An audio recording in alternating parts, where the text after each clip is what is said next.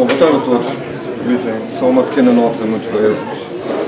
Obrigado por terem vindo a esta sessão, que é com uma coisa muito grata para ter aqui nesta escola, porque é a primeira vez que temos a apresentação de um livro aqui nesta escola e, curiosamente, como hora sem duas, temos neste momento a decorrer a apresentação de dois livros. Uma aqui, contextualizada de uma coisa que já falo, uma outra na outra parte do edifício, mais virada para a gestão de e-mails. Como dizia, uma coisa interessante ter aqui na escola, porque isto também constitui um bocadinho o que se quer para uma instituição deste tipo, um pouco a transmissão do conhecimento e a disseminação do que se faz. E é exatamente um bocadinho neste contexto que aparece esta sessão, é, é divulgar para vocês, porque acaba por ter também tocar no interesse mais da comunidade estudante, mas também dos docentes, a apresentação de uma coisa que, que é muito bom que atualmente se faça em Portugal. Algumas editoras, ao longo dos últimos anos, têm feito, têm feito uma aposta, não só a Silva, como até outras editoras também, de pedir a pessoas de reconhecida competência nacional que produzam livros mesmo que sejam utilizados quer com bibliografia para o, para o ensino secundário superior ou como um registro que fica para o futuro do que é feito e do que é bem feito em Portugal.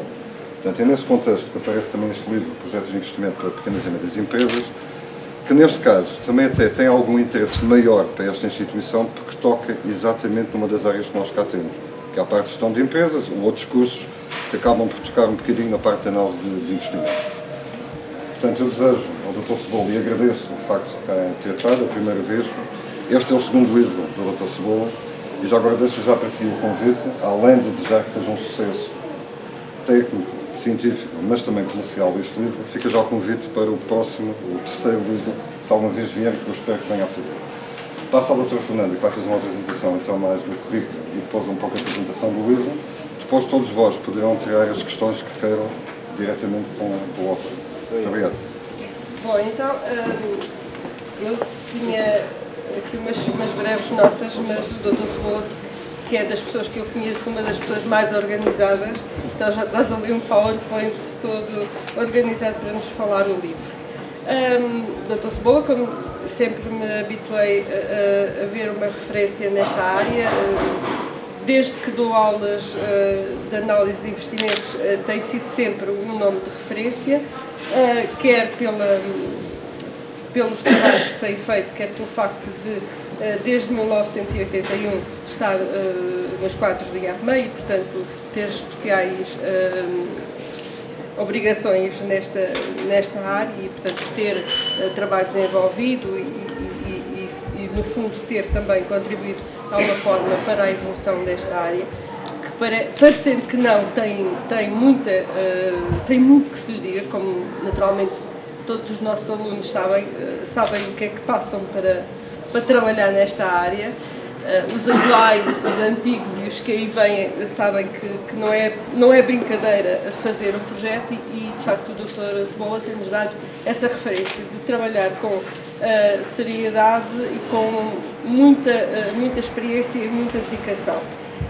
o Dr. Cebola, para além de, ter estado, de estar desde 81 no IAPMEI, está, ou esteve, melhor dito, ligado à Universidade de Évora, entre 97 e 2006, quer uh, primeiro na, nas áreas da matemática, quer depois uh, mesmo em análise de investimentos. Atrever-me aqui também a sublinhar um aspecto, o Sebol também colaborou connosco aqui na pós-graduação de gestão de projetos. Uh, no ano passado esperemos que hajam outras possibilidades de cooperação. Neste momento não tivemos ainda candidatos, mas esperamos, esperamos brevemente vir a poder abrir novamente essa pós-graduação. Além disso, o doutor é também autor, quer deste livro que hoje aqui se apresenta e que tem um caráter uh, muito prático que, já, que, passarei a referir, é também autor de um outro livro uh, que tem já mais algum tempo, mas que também é uma referência uh, nas nossas aulas de análise de investimentos. Este livro que hoje aqui surge é um livro naturalmente muito atual e muito atualizado, já aborda temáticas que, sendo tradicionais em análise de investimentos, como seja a análise da rentabilidade, do risco e da solvabilidade, aborda uma questão que é extremamente importante uh, e cada vez é mais importante, que é a análise económica de projetos. Até hoje são muito poucos os livros que abordam as duas áreas integradas. Este é um deles e falo de uma maneira uh, muito linear e muito prática. Isso é para nós que trabalhamos na área, inclusivamente para, para as cadeiras que têm a vertente da análise económica, é extremamente importante.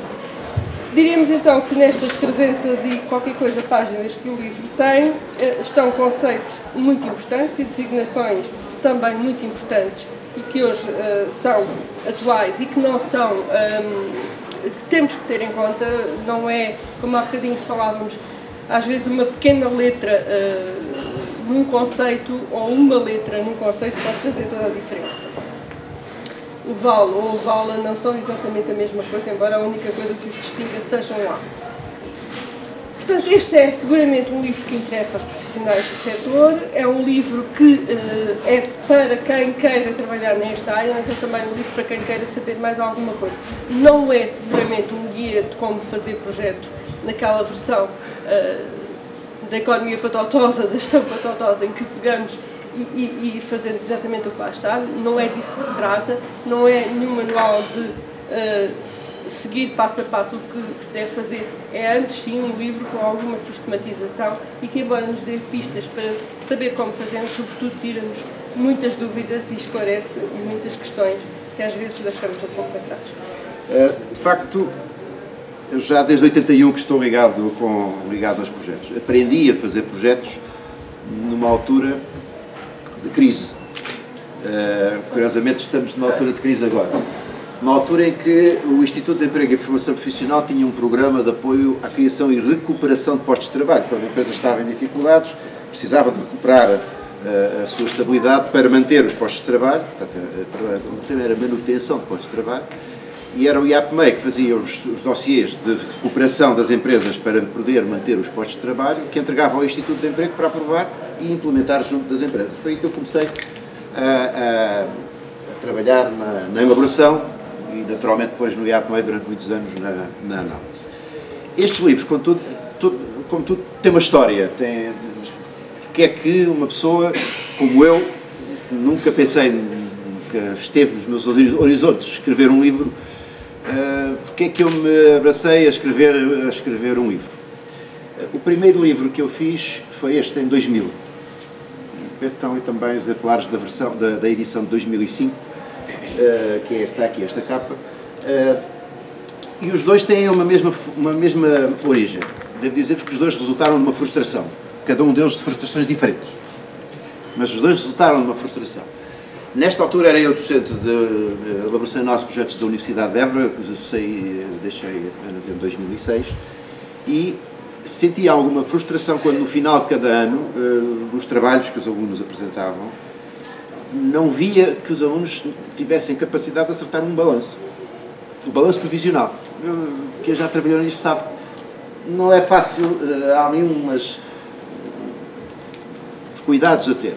Esta frustração dizia, mas que raio, passei aqui uh, um semestre com os alunos a trabalhar com eles sobre, em, em termos práticos isto, e depois no fim não me acerta um, um balanço que para mim era uma coisa, e é uma coisa relativamente simples. E então decidi fazer um, um, um, um livro, que não, obviamente não é só para acertar o balanço, é, em que expliquei de forma detalhada Devo dizer que até um colega da Universidade de Évora depois me disse, Cebola, tu explicaste demais explicaste demais de, uh, o detalhe de como é que as coisas são feitas. Eu não, não, tenho, não tenho nenhuma reserva na partilha daquilo que sei e, portanto, expliquei de forma detalhada como é que todo, toda a mecânica de construção de um estudo de viabilidade do ponto de vista numérico. Para este, este primeiro livro é um livro de casos práticos. Até estamos a falar do ponto de vista numérico. Desde a utilização da taxa de juros do processo de avaliação até à questão da análise económica também, aqui exemplo de, de, casos concretos de análise económica, como a elaboração completa do estudo de viabilidade económica e financeira, componente numérica. É do que se trata este, este primeiro livro, para comatar essa, essa, essa falha que eu sentia no, no mercado.